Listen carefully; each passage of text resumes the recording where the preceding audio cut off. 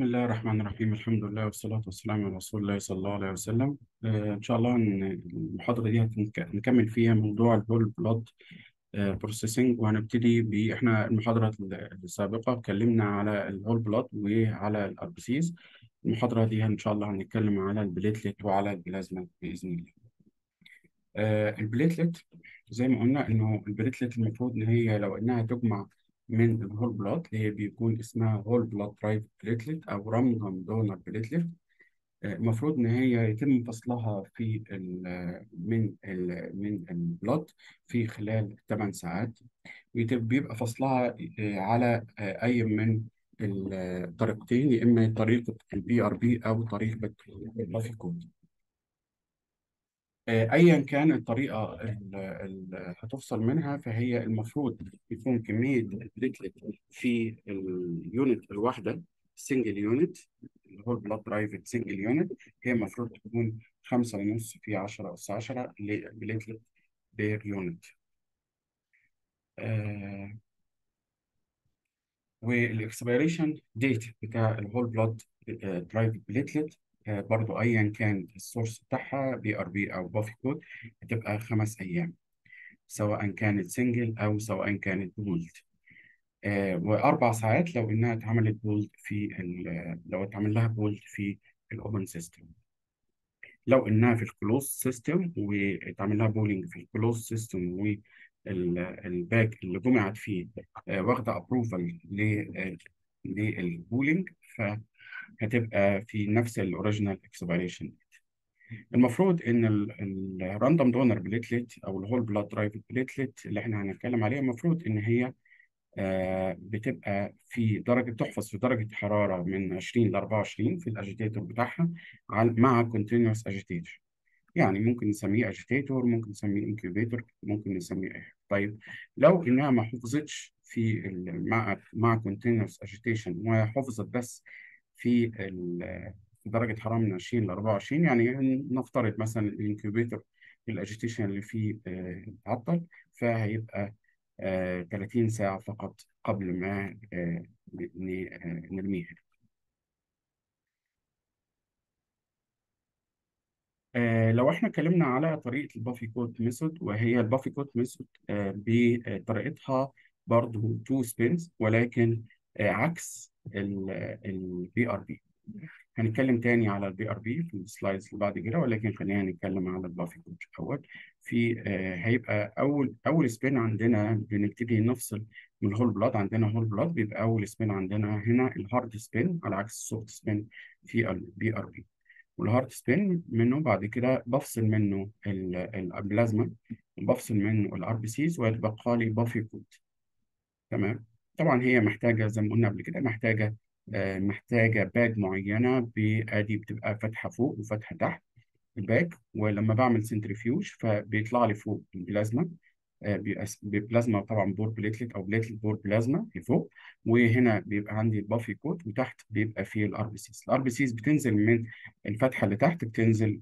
تيجي على ال additive solution عشان تاخد العمر 42 يوم وال buffy coat آه، بتجمع كلها هنا والبلازما بتجمع كلها طبعا هو اللي ما بتبقاش ما ب- يعني ما بعملش آه، آه، آه، platelet ما فيش منها single لازم أعمل منها pooled ال platelet بتاعت ال buffy coat لازم تكون pooled فبتبقى تقريبا من أربعة أربعة إلى خمسة unit من ال buffy coat ال pooled وبعد كده بعمل centrifuge وبقوم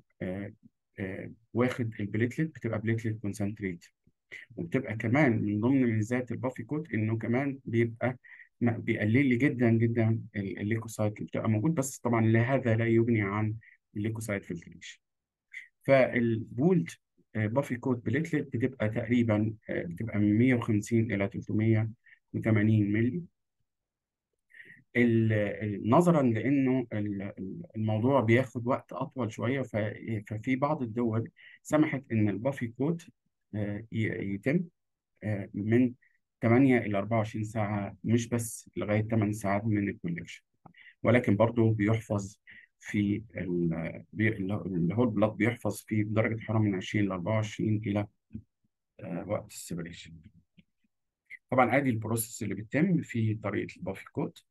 تمام؟ بنبتدي بال hard spin الأول. وطبعا قلنا إن دي سرعات بتبقى يعني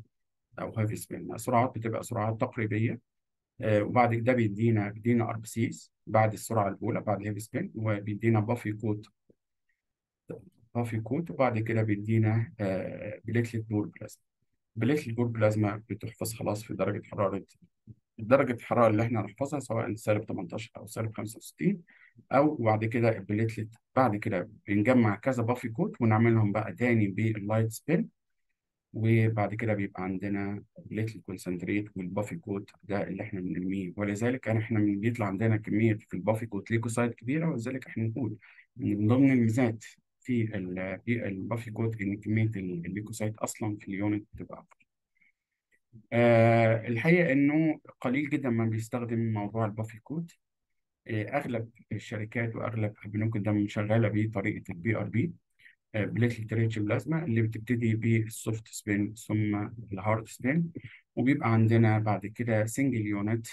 single whole blood derived platelet أو single random donor platelet بتبقى ال platelet آه، تقريبا بتبقى آه، كمية بسيطة جدا حوالي 5 مللي 10 مللي بالكتير وبيبقى كل اللي باقي بنخلي معاه. بدل ما بنطلع كل البلازما لأ بنخلي معاه ال platelet من 40 إلى 70 مللي بلازما. بعد ما بيتم تحضير هذه الوحدة من ال platelet PRP بعد ما بيتم تحضير ال unit اللي هي بقت 70 مللي تقريبا بنخليها مقلوبة على آه على ال sticker side على ال sticker side بتاع ال- ال unit نفسها بحيث لأنه البليتلت ال- البليتلت بالأخص آه ال- الباج الساتلايت باج اللي فيه اللي بيسمح فيه إن ال platelet تحفظ بيبقى permeable permeable عشان يسمح بال oxygenation. يسمح لثاني اكسيد الكربون إنه يطلع لأن ال platelet بتبقى viable وبتبقى آه بتعمل oxygenation وبيطلع منها ثاني اكسيد الكربون آه وبيبقى آه أفضل حاجة إنه إنه ال- ال bag نفسها بتبقى permeable بحيث إن ثاني اكسيد الكربون يطلع وبالتالي يخفف شوية من البي اتش البي اتش كل شوية ما ما يبقاش more acid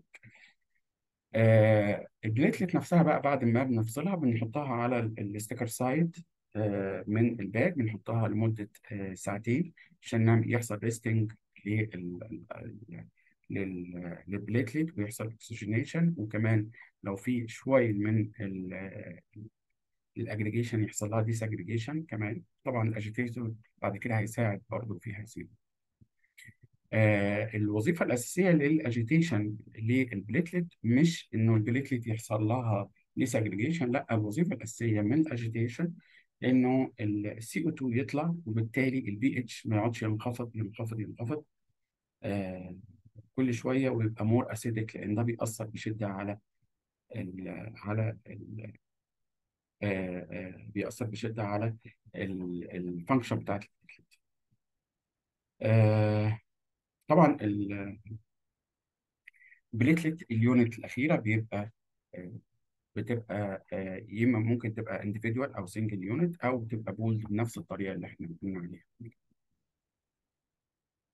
دي طريقة ال PRP زي ما قلنا برضو بيبتدي بال- بال light spin فبيبقى عندنا بيبقى عندنا آه، في packed RBCs تحت خالص وفوقها ال- ال buffy coat بسيط وفي platelet rich plasma فوق وبعد كده بيبقى يعني الجزء بتاع ال buffy coat وبعد كده ممكن إن إحنا البلازما دي ال- الجزء اللي فوق أحيانا ممكن إن إحنا نستفيد من البلازما مباشرة من غير ما نفصل منها ولذلك ناخد البلازما على طول نحطها في سالب 18 أو غيره. أو إن إحنا بقى البلازما ال rich platelet نكمل الخطوة الثانية ونعمل heavy spin ويبقى عندنا هيبقى عندنا برضه بلازما ولكن بلازما من غير أي platelet دي اللي إحنا نحطها وبعد كده بيطلع لنا platelet concentrate ميزات ال buffy coat عن ال PRP إنه أو يعني ممكن نقول ال conditions عموما بيبقى فيه RBCs أكتر بيحصل لها loss في ال buffy coat طبعا دي مش ميزة يعني ولكن ده يعتبر ال condition أكتر. آه ال yield بيبقى فيها more plasma yield في ال platelet في الب- ال buffy coat عن ال PRP بيبقى طبعا زي ما قلنا بيبقى فيه كمية white blood cell loss أو يعني كمية white blood cell تم التخلص منها كتير أكتر من ال platelet وبيبقى فيه لو نفرض يعني بيبقى لو نفرض إنها لو هنقارن ما بينهم مين فيهم أقل في ال bacteremia أو أقل في ال bacteria activation فطبعا المفروض ما فيش bacteremia أصلا خالص. ولكن لو قارنا هنلاقي إنه buffy coat بيبقى moderate reduction في ال viable bacteria. يعني إمكانيات أو إحتمالات إن ممكن يحصل moderate reduction للبكتيريا أكتر على أساس إنه كمية كبيرة من ال white blood cell أيضا يعني تم التخلص منها. آه نبتدي نتكلم في آه موضوع البلازما. البلازما component عندي عدة حاجات. آه أول حاجة وأشهر حاجة وهو ال fresh frozen plasma اللي هي بيتم جمعها يا إما من whole blood بعد طبعا ال first spin أيا كان ال first spin أو إنه أو ممكن حتى من بعد ال second spin على حسب ممكن تتجمع من ال whole blood أو حتى تتجمع من ال apheresis بيبقى آه تقريبا اللي جاية من ال whole blood بتبقى من 200 ل 250 مللي واللي جاية من ال apheresis ممكن بتوصل إلى من 400 إلى 600 مللي. آه معذرة قبل ما ننس- ن- نخش بس على البلازما أحب أحب أن أقول لكم إن إن ال- الوحيد حتى الآن ال- ال platelet المسموح إنها تكمل سبع أيام بشروط خاصة bacteria bacteria detection خاصة ال room temperature apheresis هي الوحيدة اللي مسموح بيها إن أنا آه، أعمل لها سبع أيام وحاليا تم السماح لل platelet بال apheresis platelet انها تقعد 14 يوم في الثلاجه من واحد إلى ستة في الثلاجه without agitation and without any bacterial detection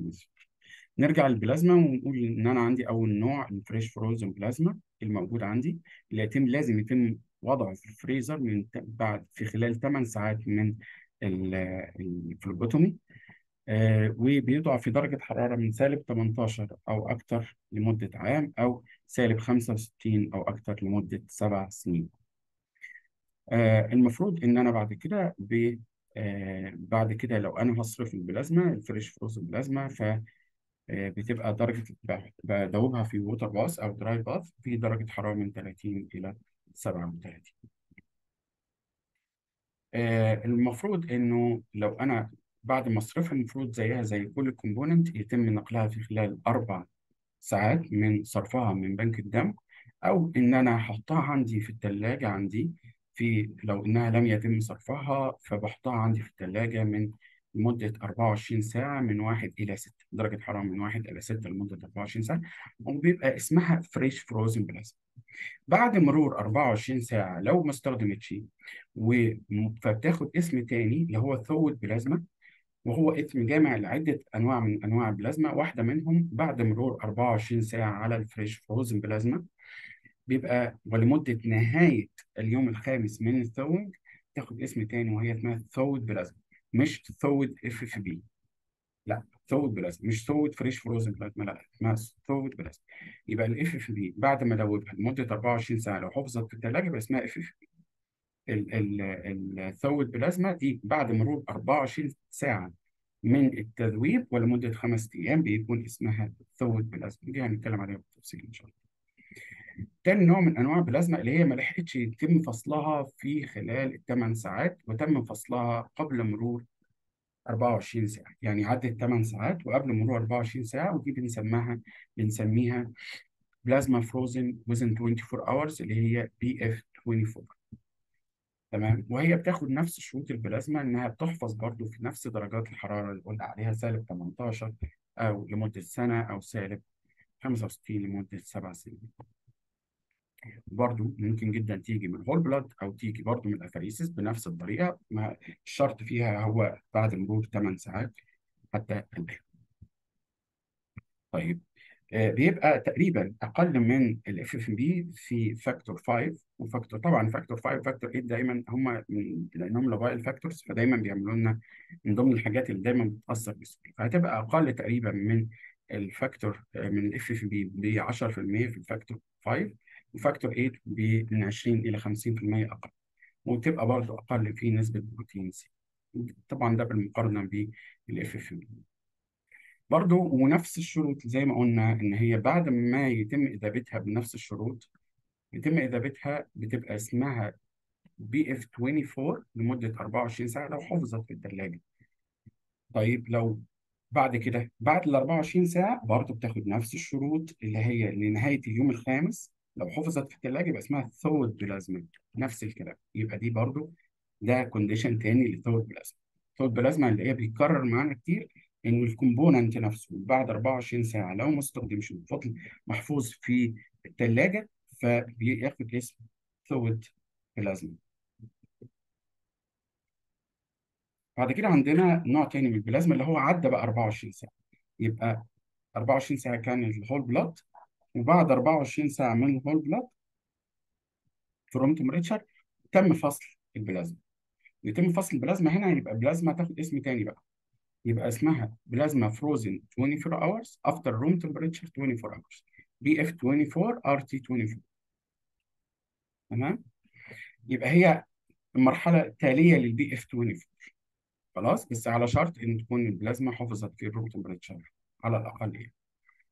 وبرضه بتاخد نفس شروط ال storage اللي إحنا اتكلمنا عليه سالب 18 وبرضه ممكن تيجي بنفس الطريقة يا إما من ال whole blood أو من ال apheresis المكتوب.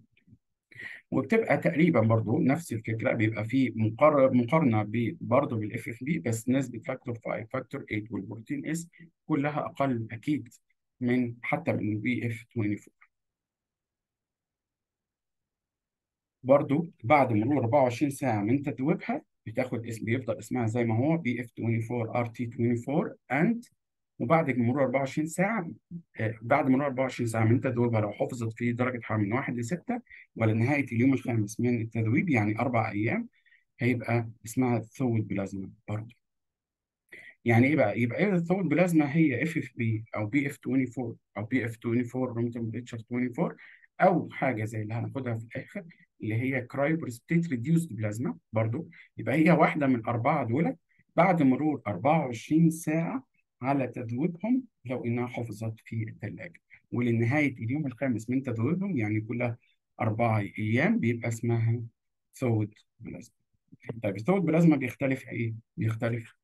عن إيه؟ ال thawed plasma بيختلف إنه في آه، بيختلف عن البلازما كل أنواع البلازما زي ما قلنا في mainly في factor 5 و factor 8 دولت mainly وبيبقى تقريبا على اليوم الخامس بيبقى وصل ل 50% تقريبا من كل كمية ال coagulation factors اللي موجودة. يعني هو للدرجة يعني هو سيء؟ لا هو مش سيء.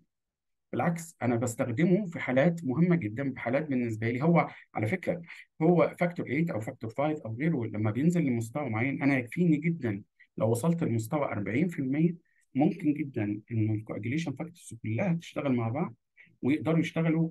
كبعض مع بعض. في حالات ال- مثلا في حالات ال emergency زي في حالات ال bleeding يكفي جدا. كل أنواع البلازما تنفع في حالات ال bleeding حالات ال massive transfusion الكلام ده لأنه نعرف إنه 40% يكفي إن ال coagulation factor يشتغل مع بعض. صحيح هو ما ينفعش إن أنا أديه ك factor deficiency إنما ينفع أديه ك replacement في حالات ال replacement البلازما في حالات ال massive transfusion أو في حالات ال associated coagulation ال liquid plasma هو البلازما اللي موجودة مع ال whole blood. يبقى ال whole blood زي ما هو تم وضعه في الثلاجه هو موجود في الثلاجه لمدة مثلا 35 يوم. افترضنا. ما فصلش. فالبلازما اللي موجودة فيه لو فصلت في أي وقت في خلال ال 35 يوم بيبقى اسمها liquid plasma. بعد ما يتم فصلها فبيبقى عمرها خمس أيام. ففي ناس بيعملوا حاجة ظريفة عشان يستفيدوا منها أقصى حاجة. فبيخلوها لغاية 35 يوم. وفي اليوم ال 35 يفصلوها من ال whole blood بحيث إن هي كمان تكمل خمس أيام زيادة على ال 35 ك liquid plasma بس تحفظ في الثلاجه. طبعا برضه نفس الكلام ال- ال- ال- ال factors كلها فيها acceptable لما لما نتكلم إن هي بتشتغل مع بعض في حالات ال massive transfusion وال emergency والكلام ده إلا إن هي طبعا بيبقى عندها factor 5 factor 8 بيبقوا منخفضين آه، آه، بشدة بس برضه يقدروا يشتغلوا كلهم مع بعض. طيب آه، ال- من ضمن عيوب البلازما اللي هي ال liquid plasma إن هي آه، بتبقى آه، محفوظة في الثلاجه مش زي البلازما العادية اللي هي بتبقى في في frozen فإذا البلازما ال frozen إن شاء الله لما نيجي نتكلم عن المحاضرات القادمة في ال modification هنعرف إنه فكرة ال freezing وال thawing بتكسر لي ال lymphocyte اللي هي ممكن تعمل لي graft versus host freezing و thawing ولذلك أنا مش محتاج مثلا آخد أي precautions عشان أتخلص من ال lymphocyte للبلازما أو cryoprecipitate مش محتاج. لأنه حكاية ال freezing وال thawing مش محتاج. في نسبة 99.9 من 10 في الحالات إلا إنه ال liquid plasma لا لأنها محفوظة في الثلاجه فال T lymphocyte ممكن تكون موجودة ما زالت موجودة وممكن جدا يعم- يعمل لي ال transfusion associated graft versus host ولذلك إحنا من ضمن ال precautions ال precautions اللي بناخدها إيه؟ إن أنا بعمل irradiation هي واحدة من أنواع البلازما اللي لازم يتعمل لها irradiation هي ال liquid plasma ده واحدة. وال disadvantage طيب. بعد كده عندي نوع تاني وهو ال recovered plasma ال recovered plasma هي أي بلازما عندنا انتهت صلاحيتها سواء بلازما عادية أو liquid plasma. انتهت صلاحيتها بتاخدها الشركات وبعد كده بتصنع منها أنواع ال factors بقى كلها الألبومين وال coagulation factor اللي لسه مكملة والكلام ده وال immunoglobulin بتصنع منها هذه الحاجات. طبعا هي لا إحنا لا بنك الدم بيحدد لها expiration date ولا أي حاجة ولذلك هي من الحاجات اللي لو بعمل لها record retention فهي لازم أخلي عندي record بتاعتها لمدة غير محددة. طيب بعد كده عندنا ال cryoprecipitate وهو له اسم تاني يا إما cryoprecipitate أو cryoprecipitate antihemophilic factor كلاهما نفس الاسم بس بيختلف من أوروبا لأمريكا في في التسمية. إنما كلاهما نفس الموضوع إنه بيجي من ال FFP أو بيجي من ال PF 24 بيتصنع من ال FFP أو PF 24 سواء كان whole blood أو apheresis بيتصنع إزاي إن إحنا بنخلي ال PF 24 أو ال FFP نطلعه من الفريزر ونحطه في نحطه في ال- ال- ال- الثلاجات عندنا بيطلع من الفريزر ويحط حط في الثلاجه على مثلا overnight على 12 ساعة مثلا ولا شيء أو بنحطه في في circulating water bath خاص بيه لما يكون مثلا عايزين نسرع شوية فال circulating water bath ده يكون أصلا درجة حرارته من 1 إلى 6 بعد مثلا نقول الطريقة الأغلب اللي إحنا شغالين بيها وهي إنه إن أنا بطلعه من الفريزر بحطه في الثلاجه لأن دي طريقة متاحة أكتر لمدة 12 ساعة 14 ساعة. بعدين بعد كده باخده بدوره على طول على في centrifuge آه عند برضو درجة حرارة من 1 ل 6 بسرعة عالية. فبيكون لي تحت حاجات زي crystals كده cold insoluble protein بيبقى زي ال crystals كده دي اللي اسمها ال cryoprecipitate كلها على بعض ما تجيش حوالي يمكن 2 مللي 3 مللي وبنسيب معاها حوالي 15 مللي بلازما. من 10 ل 15 مللي بلازما برضه بنشيلها بطريقة ال extract ال expressor اللي أنا اللي إحنا شفناها في الأول بطريقة ال expressor. أنا بشيل كل ال supernatant برميه أو بحطه يا إما بشيل كل ال supernatant بحطه في satellite bag اخر واخلي عندي حوالي البلازما بخلي عندي ال cryo بيبقى عامل زي كأنه membrane كده white membrane crystals كده. يبقى آه وخلي معاه من 10 ل 15 مللي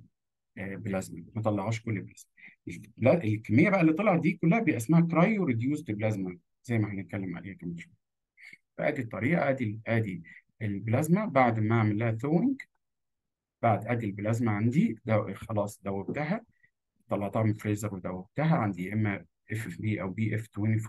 ب- بدوبها بيكون عندي بعد كده يا إما عندي cryoprecipitate هو اللي موجود تحت عندي لو افترضنا إن ده ال- ال unit كده كاملة ف cryoprecipitate هو اللي بيبقى تحت عندي وده ال- اللي أنا بعد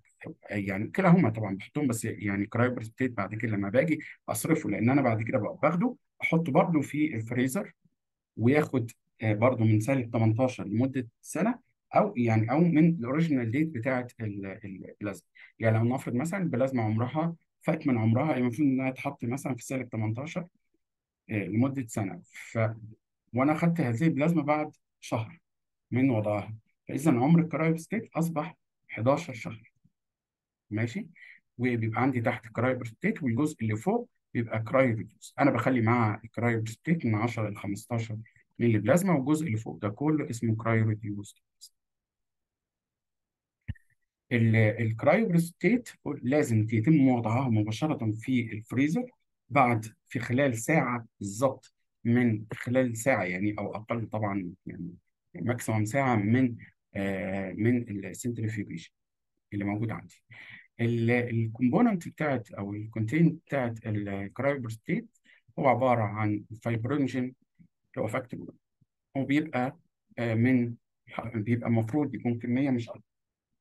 مش أقل من 150 مللي جرام على ال unit. factor 8 وهي برضه تكون كمية مش أقل من 80 international unit per unit وهم دولت الاثنين اللي المفروض بيتعمل لهم QC لل cryoprecipitate. يعني هم دولت فقط اللي اللي مطالب إن أنا أعمل لها QC لل cryoprecipitate. آه طبعا البلازما ملهاش QC according لل AABB وال F ال FDA ال American FDA وال CAP ال- طالما آه إن أنا ال FFP ليس لها أصلا عمل. بالنسبة لاماكن أخرى زي مثلا المملكة العربية السعودية فالسباهي بيقول طالما إن إحنا عمل عملت cryo خلاص. لو ما عملتش cryo قد تحتاج إن أنت تعمل لل FFP بالنسبة لل cryo آه، ليها فيها خمسة component fibrinogen factor 8 factor 13 وال von Willebrand factor وال fibronectin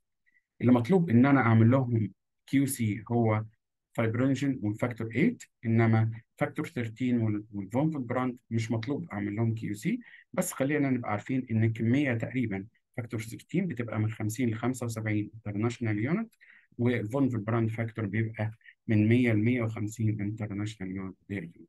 ال fibronectin كميته مش معلوم مش معلومة وما ينفعش إن أنا استخدم ك treatment لحاجة تخص ال fibronectin ال cryoprecipitate بيبقى لما أجي بقى بدوبه بيبقى لازم أدوبه في برضه في ال water bath وبعد كده ممنوع إن أنا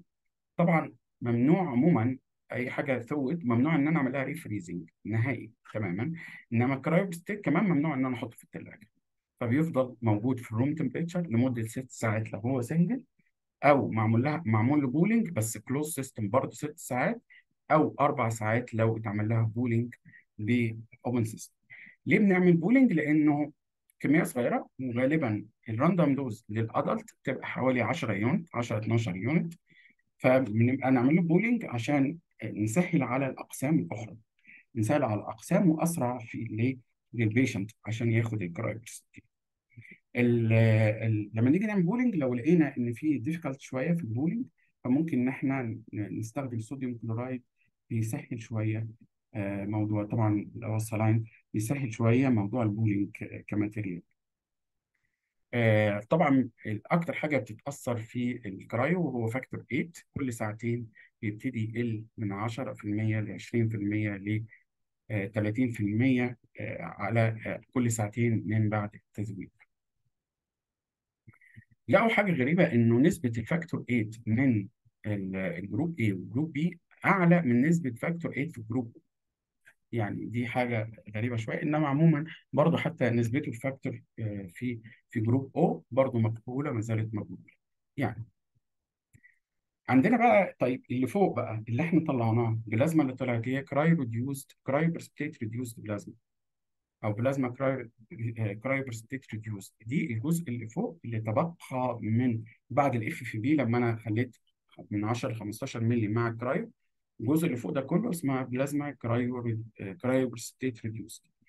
ده بيتعمل له برضه بيتعمل له refreezing برضه تاني بعد ما آخد منه ال cryo احطه تاني لازم يتعمل له refreezing خلال 24 ساعة من تذويب البلازما خلاص. وبرضه بياخد نفس قلنا العمر عمر ال FFP لو حفظ في الفريزر من سالب 18 يعني برضه زي ما قلنا لو كنت أنا حضرت من ال FFP اللي هي ال cryo يعني كنت حضرت من ال FFP بعد مرور شهر على وضعها في الثلاجه فإذا ال cryoprecipitate عمرها أصبح 11 شهر وال cryo reduced plasma برضه أصبح عمرها 11 شهر. آه، على الرغم إن إحنا واخدين ال cryoprecipitate واخدة كميات كبيرة من ال factors المهمة إلا إنه برضه ما زال ال cryoprecipitate reduced factor ما زال موجود فيها factor 5 نسبة 85% factor 1 fibrinogen ما زال بنسبة كبيرة زي ما نقول من نسبة تبقى بيبقى 200 200 مللي جرام ما زال موجود على الديسيليت بيبقى factor 10 وال anti-plasmin وال anti-thrombin و protein C و protein S كل دولت موجود حتى بعد ما شلنا منها الكرايو طبعا هي يعني ما بتستخدمش كتير آه، في أي حاجة من ك replacement أو حاجة في fibrinogen أو von Willebrand factor أو factor 8 لا ما بتستخدمش فيها ولكن هي ما زالت موجودة فيها. هي استخدامها تقريبا حصري على موضوع على مرضى TTP